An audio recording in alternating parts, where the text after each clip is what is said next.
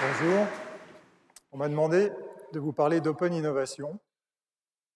J'ai bien du mal à définir déjà ce que c'est que l'innovation, donc on va y aller doucement. Par contre, je suis persuadé que l'open innovation change l'économie et va changer la manière dont les échanges se font. Je vais essayer de vous expliquer pourquoi. Alors je vais peut-être pour parler d'innovation commencer par prendre un exemple très simple, le post-it que tout le monde connaît, qui a un exemple qui a une histoire fameuse. Euh, le post-it a été inventé par euh, une personne qui s'appelle euh, Steven Silver, qui était chercheur pour les laboratoires de l'entreprise 3M aux États-Unis. Il a inventé une colle qui ne collait pas. Et lorsqu'il a inventé cette colle, il a eu le, sentiment, l'intuition, en fait, que ça pouvait réellement, enfin, que ça pouvait servir à quelque chose, mais il savait pas quoi. Donc, il a commencé à faire le tour de la société 3M en expliquant, voilà, j'ai inventé une colle qui ne colle pas. Est-ce que vous avez des idées d'application? Parce que moi, je j'en ai pas. Un jour, il est tombé sur euh, un collègue qui s'appelait euh, Art Fry, qui lui a dit, écoute, moi j'ai un problème, je vais à la messe tous les dimanches et j'ai des marque-pages et les marque-pages tombent sans arrêt. Et il me semble que ta colle pourrait être intéressante pour fixer les marque-pages sans que ça abîme mon livre. Et tous les deux, en fait, ont proposé cette idée-là, l'ont développée, et ça a donné le post-it qui est aujourd'hui euh, évidemment quelque chose qui est euh, totalement utile à tout le monde.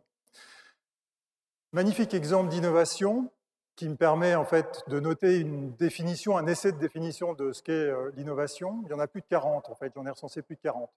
L'innovation, c'est mettre en œuvre des idées nouvelles qui produisent de la valeur pour des utilisateurs. Donc, mots-clés, mise en œuvre, idées nouvelles et production de valeur. Alors, sur euh, cet euh, exemple, je voudrais donner un autre exemple qui est, lui, un exemple d'open innovation.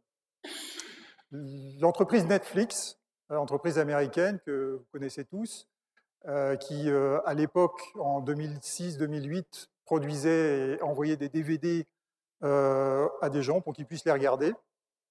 Euh, Netflix, en 2006, se dit il faut absolument qu'on améliore notre algorithme de recommandation. Algorithme de recommandation, c'est permettre de savoir quel est le prochain film qui pourrait être euh, intéressant pour un utilisateur de Netflix. vous avez aimé Chantons sous la pluie, vous aimerez La La Land, par exemple. vous avez aimé Avenger 4, vous aimerez Avenger 5. Bon.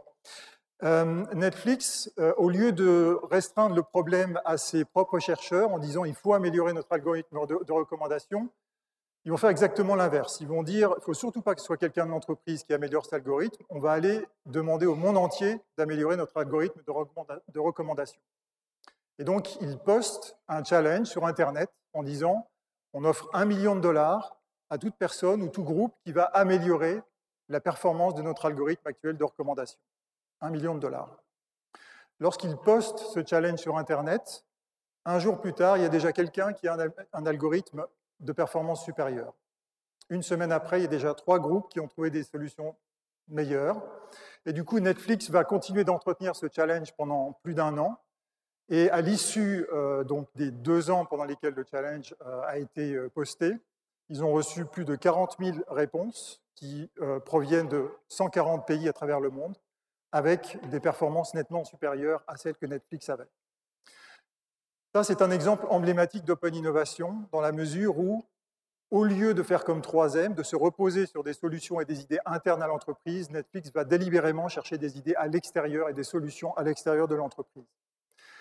Donc, la mise en œuvre de ces, idées nouvelles elle vient de l'extérieur. Et donc, par exemple, on parle de, maintenant de crowdsourcing, donc c'est euh, aller chercher des idées auprès de la foule.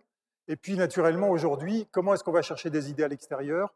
Ben, On va beaucoup faire appel aux réseaux sociaux. Et donc, toutes les technologies qui se développent autour des réseaux sociaux pour aller essayer de comprendre quel est le contenu à l'intérieur de ces réseaux sociaux, faire des analyses de tendances, faire des analyses de données, faire des analyses de sentiments autour des, des réseaux sociaux, sont des technologies qui se développent pour intégrer des nouvelles idées d'innovation pour les entreprises. Ça, c'est pour les idées. Maintenant, la mise en œuvre, c'est un autre aspect qui est aussi fondamental. Euh, alors, pour ça, je vais prendre un, autre exemple qui est l'exemple pour la mise en œuvre de l'open source. L'open source, c'est une idée qui n'est pas nouvelle.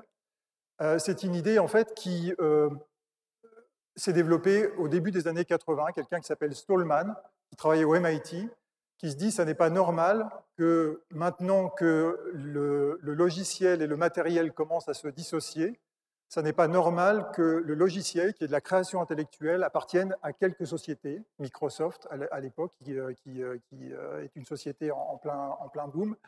Et donc Stallman dit il faut absolument trouver un moyen de faire en sorte de mutualiser ces ressources nouvelles que sont les logiciels. Et donc il crée, je passe sur l'histoire qui a pris un certain temps à se développer, mais il crée il est à l'origine en fait du monde de l'open source. L'open source, c'est quoi? C'est du logiciel qu'on peut utiliser librement, à condition, une condition absolument fondamentale, qui est que si on, si on l'améliore, à ce moment-là, on a l'obligation de le remettre à disposition d'autres utilisateurs et d'autres développeurs. Ça, c'est les années 80. C'est un élément clé aujourd'hui de mise en œuvre de toute innovation, le logiciel. Il y a d'autres éléments clés. Je voudrais passer quelques secondes sur quelques autres éléments clés de mise en œuvre d'innovation. Un autre élément clé, c'est la connaissance, de manière globale. Pas uniquement euh, du logiciel, ça peut être tout. Ça peut être de la science, ça peut être euh, des comportements utilisateurs, ça peut être tout un tas de choses. Il y a un mouvement qui se développe, dix ans après l'open source, qui se développe dans les années 90, qui s'appelle le, le mouvement de l'open access. L'open access, qu'est-ce que c'est? C'est au départ des scientifiques qui disent la connaissance que l'on produit à base de nos recherches, c'est une connaissance qui doit appartenir à tout le monde. En effet, c'est une connaissance qui euh, souvent en fait a été financée par des impôts. Il n'est pas normal que cette connaissance ne soit pas diffusée le plus largement possible au plus de monde possible. Et donc, il crée ce mouvement d'open access qui continue de se développer aujourd'hui et qui fait qu'il y a de plus en plus de connaissances accessibles de manière libre. Un autre élément de mise en œuvre très important pour l'innovation, c'est autour des objets euh, matériels. Euh, autour des objets matériels, si vous inventez par exemple, euh, je ne sais pas, une brosse à dents connectée ou vous voulez, inventer un, un purificateur d'eau, vous allez à un moment avoir besoin de faire des prototypes, de faire des objets. Donc il y a quelqu'un qui est très emblématique, qui s'appelle Neil Gershenfeld, qui travaille au MIT, qui a créé un laboratoire qui s'appelle le laboratoire des bits and atoms, qui finalement essaye de répliquer dans le monde des objets ce que l'open source a fait dans le monde du logiciel. En quoi est-ce que ce que les bits euh, permettent euh, au niveau de l'open source, les atomes pourraient également le permettre au niveau des objets du monde réel? C'est à lui qu'on doit l'idée, le concept de Fab Lab, euh, les Fab Labs utilisent des technologies nouvelles, comme par exemple la fabrication additive, mais plein d'autres plein, technologies nouvelles qui permettent de mettre des ressources qui sont mutualisées de fabrication, de prototypage, et qui vont permettre de créer des objets à partir de connaissances et à partir d'éléments qu'on va emprunter à droite à gauche, comme on le fait pour du logiciel open source. Et puis il y a deux éléments fondamentaux encore que je n'ai pas mentionnés pour la mise en œuvre. Un élément fondamental, c'est l'argent. En général, quand on innove, à un moment donné, on a besoin d'argent. Bien, aujourd'hui, grâce à Internet, il y a des nouvelles manières de lever de l'argent qui euh, ont été inventées. Euh, des plateformes comme euh, KissKissBankBank ou comme, comme d'autres qui permettent, pour un projet qui peut être un projet technologique, qui peut être un projet d'entreprise, mais qui peut être aussi un projet artistique, un projet artistique, de simplement faire appel à la foule pour avoir de l'argent. Et donc la foule peut donner 1 euro, 100 000 euros en fonction des moyens, en fonction du projet, et pas seulement de l'argent, on peut aussi donner des idées, peut aussi donner du feedback sur une expérience d'utilisateur, peut donner des conseils. Et donc c'est euh, une manière de faire appel à des ressources partagées pour pouvoir euh, implémenter un projet. Le dernier élément de mise en œuvre qui me paraît fondamental, c'est l'humain c'est évidemment, on ne peut pas innover seul. On a besoin pour ça d'innover avec des personnes. Et donc, autour de ça, il y a aussi des nouvelles pratiques sont mises en œuvre et qui sont en train de se développer. Notamment des plateformes qui vont permettre de trouver des gens. Donc, une plateforme parmi d'autres s'appelle Freelancer. J'ai choisi celle-là pour une raison bien spécifique, c'est qu'elle utilise ce mot, freelancer. On parle aujourd'hui de freelance economy, on dit que l'économie est en train de se transformer, que le monde du travail est en train de se transformer, et que de plus en plus de gens aujourd'hui travaillent en tant qu'auto-entrepreneurs, en tant que freelancers. On dit que en 2020, 50% des Américains qui travaillent, 50% d'entre eux auront au moins un job en freelance. Donc c'est un phénomène qui est en train de se développer de manière considérable.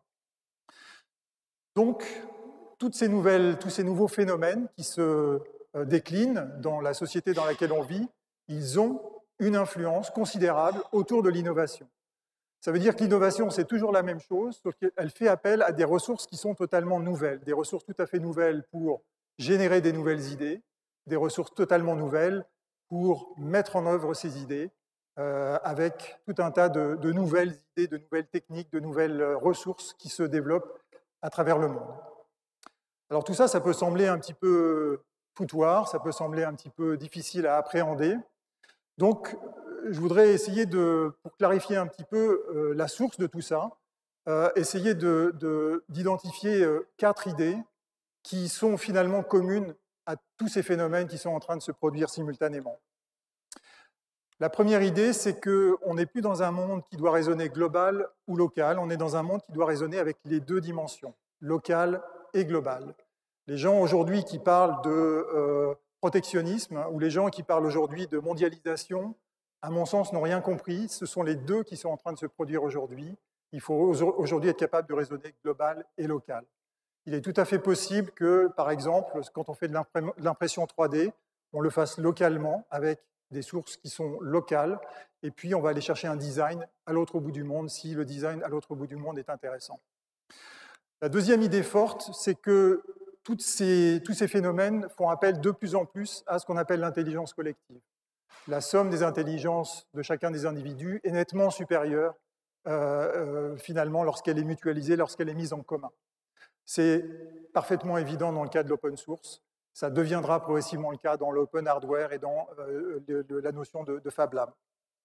La troisième idée forte autour de ça, c'est que il y a un incontournable aujourd'hui et il faut savoir maîtriser des nouveaux éléments de langage et des nouveaux éléments de connaissance que sont d'une part les technologies d'information et de la communication et d'autre part, et je voudrais vraiment insister là-dessus, la science des données. Comment les données aujourd'hui sont disponibles, comment les traiter, comment les agréger, comment les analyser, comment les visualiser, comment interagir avec ces données, ça devient un élément de savoir absolument fondamental pour aujourd'hui tout étudiant ou toute personne qui veut continuer de se développer dans ce, dans ce monde.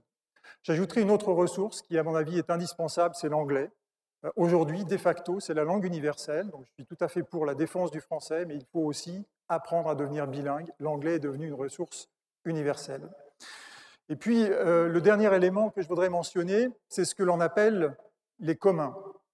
Les communs, c'est une notion en fait euh, ancienne, extrêmement ancienne, et qui est en train de redevenir d'actualité.